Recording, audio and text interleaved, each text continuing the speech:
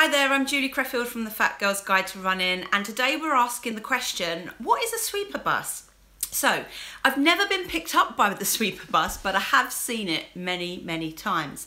Now, depending on the size of race that you enter, there may or may not be a sweeper bus, but there will be some kind of um, vehicle or bike or group of people that, you know, are the last. Um, part of the run procession. It's probably the best way to describe it. So at a big race, it will most definitely be a sweeper um, bus. And the job of that sweeper bus is to go behind the slowest runners.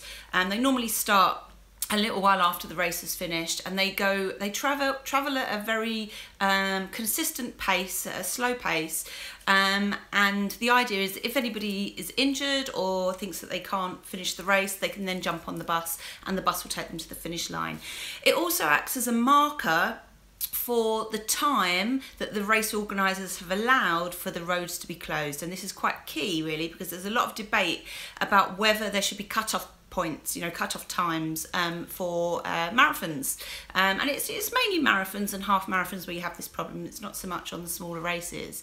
Um, so the sweeper bus can go past you and this happens, I've seen it happen at the London Marathon as you have all the runners come through and then it kind of, the crowds kind of die out a little bit. So there's still runners coming through, but not so many. And then the sweeper bus comes um, and everybody starts clearing up behind it and there are still runners. So it's a really kind of awkward slightly depressing space. And um, the first time I did uh, the London Marathon, I never saw the sweeper bus. The second time I did, and it took me an extra hour, uh, that marathon, and I did see the sweeper bus, so I could see it on the opposite side of the road, and I knew it was chasing me, or that's at least how it felt.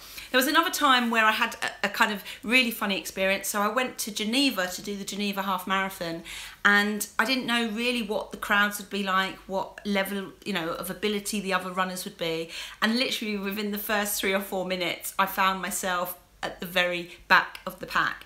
And I could hear this noise going beep, beep, beep, beep. And when I looked behind me, it was like a van. And that van was the last vehicle, that was the sweeper truck.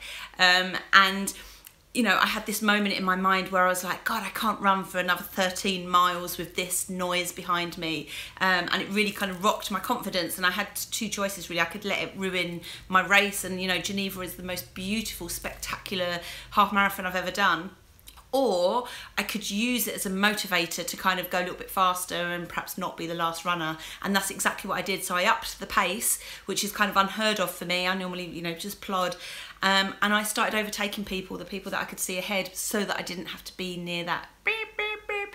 So to, for me, it worked as a motivator, and I know for a lot of people, their motivation is to not get taken over by the sweeper truck. So that's what it is. It's basically a vehicle. Sometimes it's um, people on a bike. So if it's a smaller event, um, it'll be people on a bike. And what they'll normally do is, if as they overtake you, they'll ask you if you're okay. And sometimes they may ask you to um, move onto the pavement and continue your race on the pavement as they open up um, the roads. So a good bit of advice if you're worried about this at all, because it can be a little bit nerve, um, you know, it could be quite nerve wracking.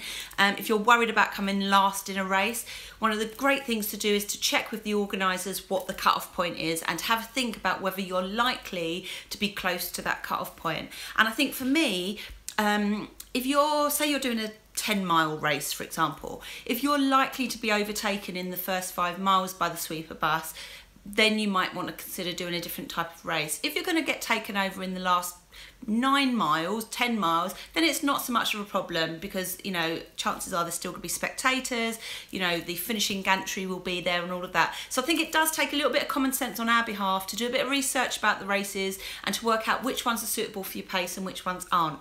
I've been Julie Creffield from the Fat Girls Guide to Running. You can find out more about coming last, sweeper vans and all sorts at www.toofattorun.co.uk. Please subscribe to the channel and yeah, tune in tomorrow for another video.